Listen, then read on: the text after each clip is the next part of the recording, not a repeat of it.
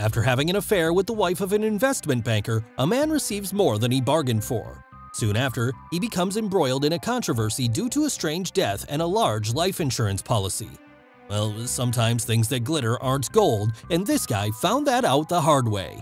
Welcome to Movie Recall. In today's video, we will be going through the 2015 thriller film Careful What You Wish For.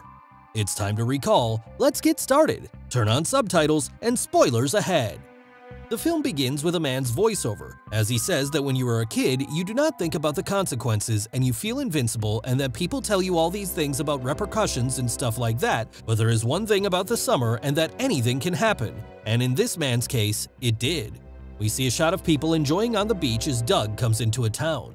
He's reading a book and looks up to see a breathtaking view of the beach. He is driven into town with his parents, and as they are taking their things down, her mother jokingly asks if he has got enough books there. Their house is next to a pier where a couple of boats are packed.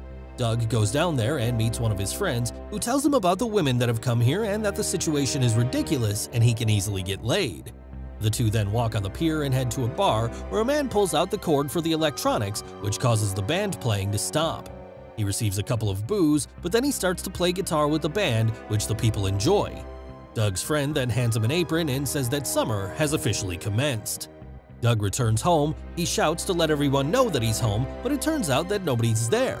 So he goes up to his room and is looking at a couple of pictures when he sees out the window and sees a new couple has moved in.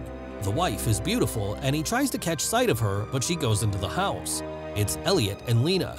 Doug continues looking at Lena, but she suddenly looks up, which startles Doug, and he turns away from the window. Later, he takes his bike out and manages to catch a sight of Lena as she bends down to remove the sand from her shoes. Doug then goes to his friend and they once again start up a conversation about girls. The two then take a mattress to an old boat shed where they hear the sound of laughing on the other side of the beach. The two then open their beers as his friend tells him that he will make sure that he has an amazing summer. When he returns home, he sees that the neighbors have moved in. Suddenly, his father calls him and takes him to meet the new neighbors. Elliot asks Doug that his father has told him that he knows a lot about boats, and Elliot invites him to come and take a look at his new boat and that he might even hire him as it'll pay much more than just mowing lawns. The next day, Elliot goes to take a look at the boat and he sees Lena coming back from a swim. As she goes to take a shower, he continues to watch her. Lena takes off all her clothes and Doug is continuously looking at her when suddenly Elliot comes out and asks him about the boat. Doug tells him that the damage is mostly cosmetic, and Elliot tells him that he might be going away for a while. The two then discuss Elliot's pay and agree on $12, but Elliot says that he would have paid him 20 Later, Doug is once again looking through his window towards the neighbor's house and sees Lena changing. Suddenly, Elliot enters the room and tries to force himself on his wife, which makes Doug look away. The next day, Elliot drives to the waterfront, where he is stopped by the guard, who tells him that he needs to check his identity. Doug comes to talk with Elliot and tells him that the guard is a bit strict. Elliot just responds that he likes it better this way.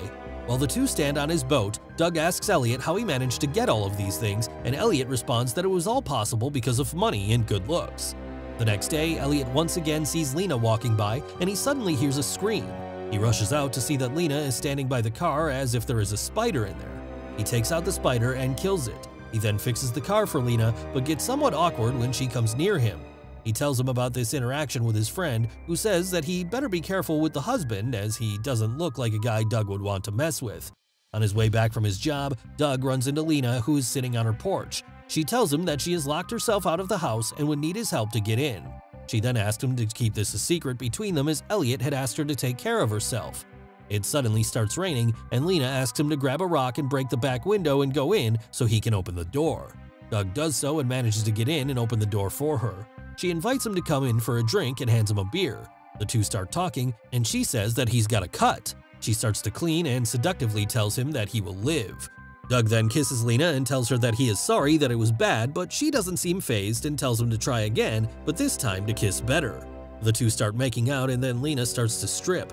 Doug helps her take her clothes off and they end up having sex. The next day, they wake up in bed together. Lena tells him that he was good last night and asks him if he had been with a girl before. He jokingly refers to the sex they had as his third time, and Lena then lies next to him.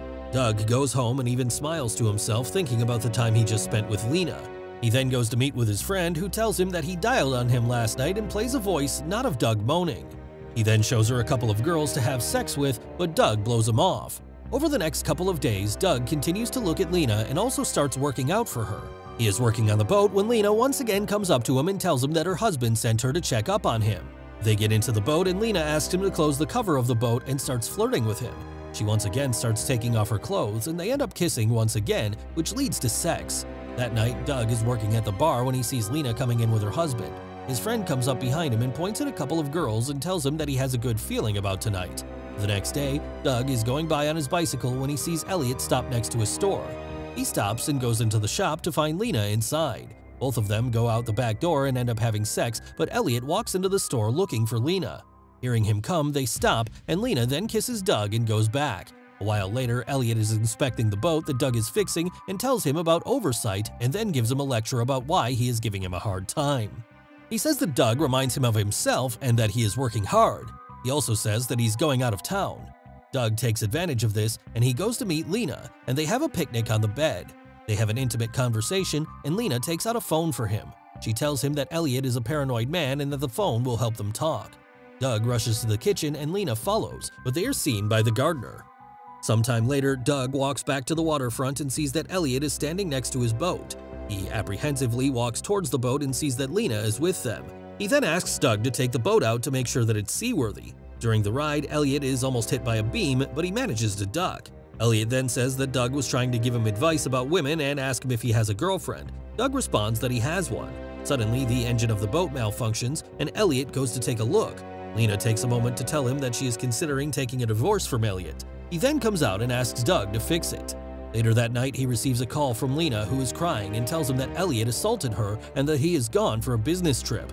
Doug drives to the hospital and tells her that she needs to tell the police about this, but she stops him and they go home. A while later, he is working when he receives a call from Lena, who is sunbathing next to the beach. She invites him over and they end up having sex in a boat shack. Lena tells him that she feels free with him. Lena then tells him about her husband's first wife and how they are still embroiled in a court battle. Doug's friends then inquire about Doug's activities and tell him that he is seeing someone, but Doug just brushes these comments aside. He then goes home and sees that Elliot is back. He suddenly receives a call from Lena. He rushes to his room and calls Lena, who is standing behind him. She tells him to come over immediately as she needs him. Doug then rushes to her home and discovers that Elliot and Lena got into a fight and she managed to hit him on the head with something. It turns out that Elliot is dead and Lena tries to ask Doug for help. Lena tells him that she can't get in trouble and asks him what he should do. Doug then tells her that they will figure something out, and he says that they have to act normal. He goes to work at the bar, and when he comes back home, he sees that Lena has come to meet his parents. They have an awkward interaction, and Doug goes up to his room. Later that night, he goes to Lena's house, and she apologizes that she can't stay in the house, so she goes over to his parents' house. Doug says that they could make it look like an accident, but Lena tells him that the excuse won't work, so Doug comes up with a new plan and he takes Elliot's body to his boat and tells Lena that she will tell the cops that they had a fight and Elliot left the house. Just as the boat is about to leave, a security guard spots Doug and calls to him as Mr. Harper, but Doug acts like Elliot and takes the boat away. In the morning, the cops are investigating what looks like an accident and see the cops coming over to Lena's house. He sees Lena talking to the cops. Doug used a beam on the ship to make another injury on Elliot's head and then used alcohol and a cigarette to set the boat on fire. Doug continues with his normal routine and he is serving a couple of cops who are talking about the incident. Later, a woman is shown driving to the town. She goes to meet the police and tells them that the LA Trust is taking the case very seriously. Elliot had a sizable insurance fund and it's going to Lena now, so they're investigating for any foul play. The woman continues to investigate what had happened and asks Lena about everything that happened and if the couple had been sleeping around. Lena replies that she hasn't had any extramarital affairs and then gets up, annoyed by the investigators' questions. The cops are also investigating the case, and the guard from the waterfront tells him that he might have a suspect from that night. The cops then start talking to Doug's father, and Doug asks the guard about the suspects. He tells him that he thought he had seen Elliot that night, but it might have been someone else. The insurance agent from before then goes to the house to take a look at the crime scene. She discovers the broken glass window that Doug left the night he first met Lena. The police also ask Doug's friend, and he tells the police that there might be some woman who Doug is seeing. This makes Doug angry, and he leaves.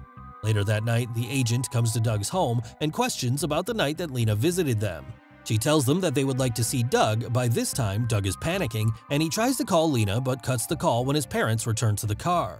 Doug then answers a couple of questions at the police station, and the agent asks him about Elliot's relationship with Lena. The agent tries to push Doug to reveal the details, but his mom intervenes and tells the agent that she won't allow her to frame her son. Doug receives a message from Lena who asks him to meet her in that boat shed.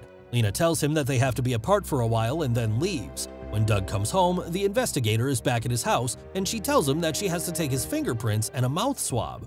They put Doug into the car and the agent starts to grill him, but Doug doesn't answer these questions. Doug then tells about his situation to his friend and his parents. Meanwhile, the cops find a match for the blood sample that the agent had given to them. Doug's attempts to prove his innocence are thwarted at every turn, presumably by Lena. For example, a gardener of the Harpers who had seen Doug and Lena together turns up murdered before the police can talk to him. But Doug manages to escape on his bike. He goes to the watershed where he meets Lena.